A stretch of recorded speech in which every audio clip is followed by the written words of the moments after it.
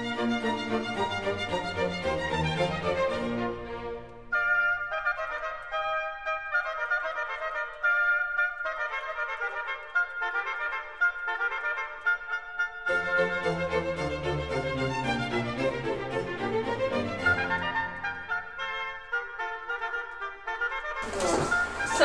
there you have the pumpkin, right? What I'm going to do is a quick cheating way is I just take this pumpkin, and to put that on a plate and put it in the microwave.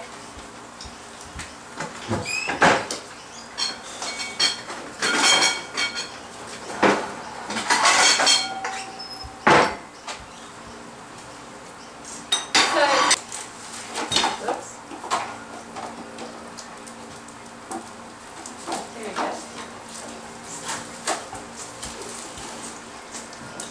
Make sure that the doesn't get in.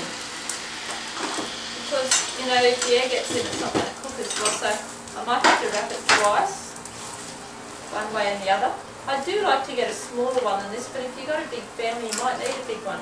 So you're actually doing, um, with the filling for this, I've just had, the, got the beans there, which I will cook and put the beans in so it'll look nice, the green beans. And we're going to put the beans in here because that's what we've got today. We're going to do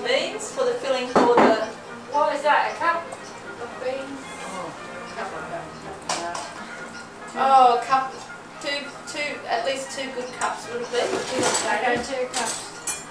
And then uh, this potato's been washed